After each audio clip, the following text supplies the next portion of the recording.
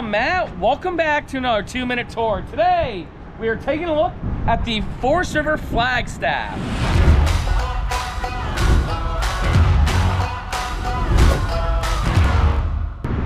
Guys, this is the perfect travel trailer to full-time live in.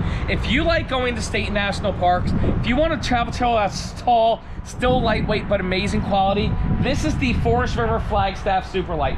Let's get started. Power tongue jack, electric stabilizing jack, full-size power awning with LED lights.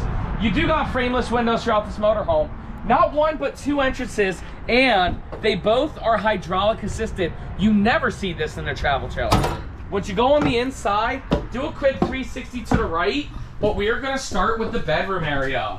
You guys can see that this is called a front kitchen travel trailer, but follow me real quick. We're gonna pop our head back here. Back here in the master bedroom, we got a queen size bed, tons of storage, tons of wardrobe space. A big part of this is how deep the slide out is. It's absolutely amazing.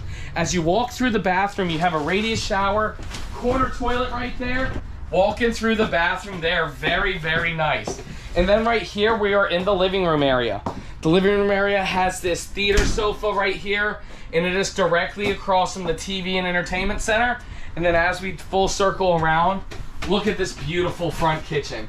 Solid surface countertops, windows all the way around, a nice dinette with storage underneath, and the ceiling is super tall in here measuring 29 feet 8 inches, so it's perfect for state and national parks. Great, that's a quick little two minute tour of the Forest River Flagstaff.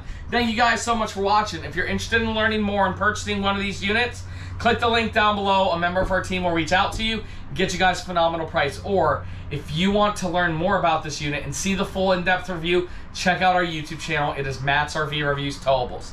Thank you guys so much for watching. We will see you next time.